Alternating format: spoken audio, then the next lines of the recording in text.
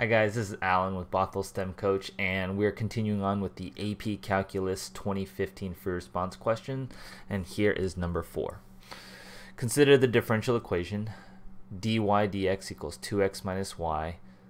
This looks really familiar. Have I done this problem before? On the axes provided, sketch a slope field for the given differential equation with the six points indicated. Okay, so um, about that. Um, two dy dx equals 2x minus y. Um, okay. So this point x is 0 and negative y minus negative 1, that's positive 1. So positive 1 looks like that. 0, 1, slope is negative. 0 minus 2 is negative 2, is a little bit steeper like that. Um, and then at 1, 2, it's 2 minus 2, so that's 0. 1, 1, it's 2 minus 1, that's positive 1. Oh, yeah, and then 1, negative 1, that's 2 minus a negative 1, that's 3. So it's even steeper like that. Okay, pretty straightforward. All you do is you take each of the x and the y coordinate, right? This is the point 0, 2, and I just plugged it in here. What's 2 times 0 minus 2? Find the second derivative in terms of x and y. Determine the concavity of all the solution curves for the differential equation in quadrant 2 and give a reason for your answer. Well, that sounds ominous. Um, okay, so the second derivative, I should take the derivative of this. That'll give me the second derivative. this is the first derivative, I take the second one. The derivative of this is just 2 with respect to x minus the derivative of y is dy dx right? But I know dy dx is this. So this is 2 minus 2x minus y, right? Because dy dx is just this. So that's equal to 2 minus 2x plus y. Okay, so that's my equation for the second derivative. Now, um, the concavity is what happens in the second quadrant. Now, quadrant 2 is where x is greater than 0. Nope, wrong. X is less than 0 and Y is greater than 0, right? Because I'm in, this is quadrant 2 over here. So X is negative and Y is positive. If X is less than 0, this is positive. Y is greater than 0, that's positive. This whole thing, this implies the second derivative over dx squared is always positive, hence it's concave up. Concavity is if the second derivative is positive, it's concave up. Second derivative negative, it's concave down. Let f of x be the particular solution to the differential equation with the initial condition, blah.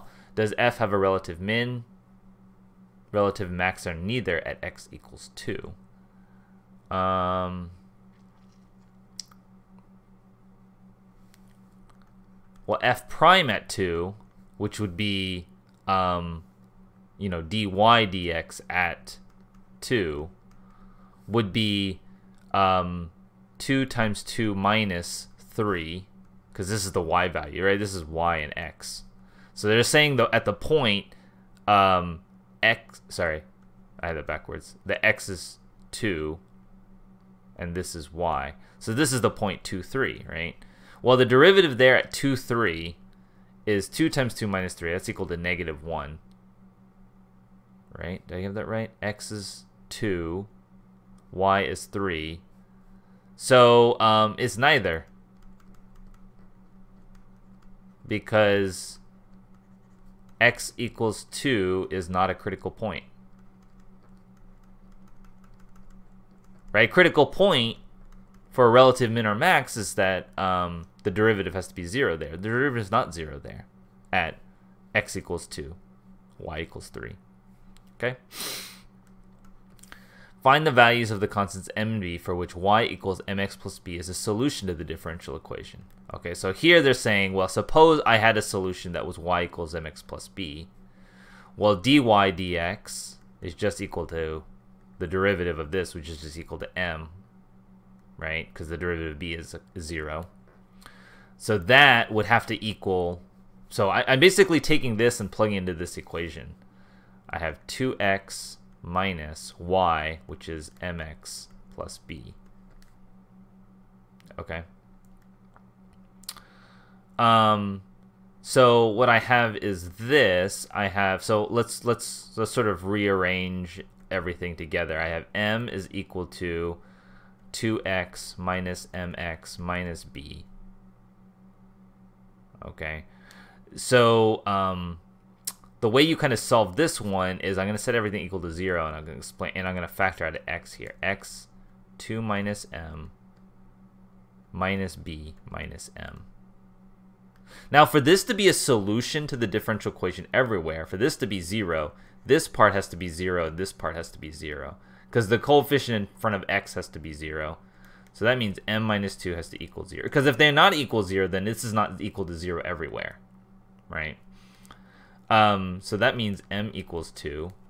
And then negative b minus m has to equal 0. But since m is 2, this is negative b minus 2 equals 0. So b has to equal negative 2. So the solution would be y equals 2x minus 2. And if I plug that into the differential equation, uh, it should work. Um, yep. So that was pretty good. So let's take a look at the solutions. Uh, down, down, up, then flat, up, then steeper, up. Okay, so that that's good. Um, all solution curves are concave up. Yeah, it's greater than zero.